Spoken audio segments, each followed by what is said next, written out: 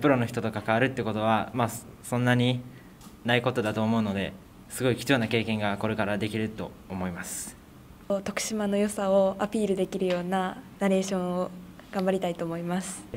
映像っていうのはすごいあのいいいいというか学習するのにいいというかもう総合的な芸術なのでもういろんな部分伸ばせると思うんで学生のうちからそういうのに力入れてやっていくともう表現するっていうこと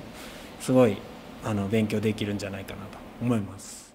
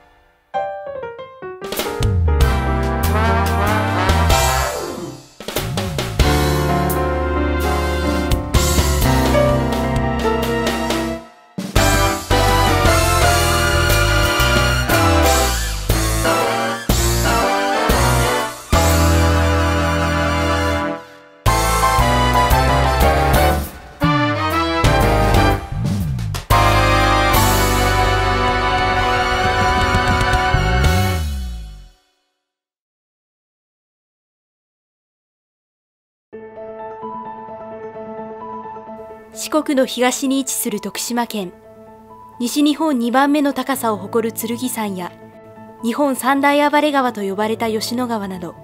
大きな自然に恵まれた徳島県を3つの地域に分けて紹介します。北部の見どころは世界三大潮流の一つ鳴門の渦潮。春と秋には直径が最大20メートルにも達します。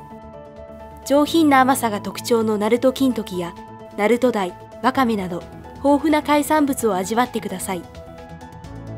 西部では吉野川の激流が生んだ渓谷大ボケ小ボケかずら橋が有名で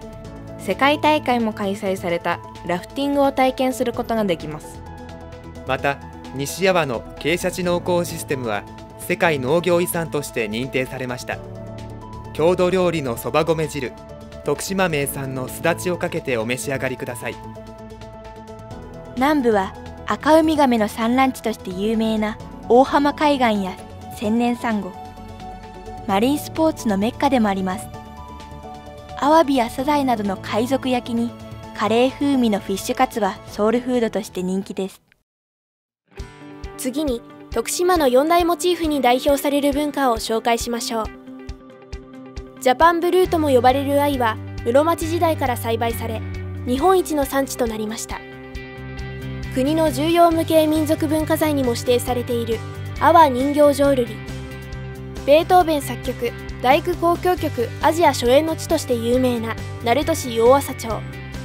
そして400年の歴史を持つ阿波踊り。最近では徳島ならではの新たな挑戦が始まっています。サテライトオフィスを誘致し地方創生の聖地として注目される神山町。ゴミをゼロにする社会づくりを目指す上勝町のゼロ・ウェイスト運動は国内外に大きな広がりを見せています。バスと列車が一つになったデュアルモードビークルが世界初の本格営業運行を開始しました。徳島の魅力を見て聞いて食べて感じてください。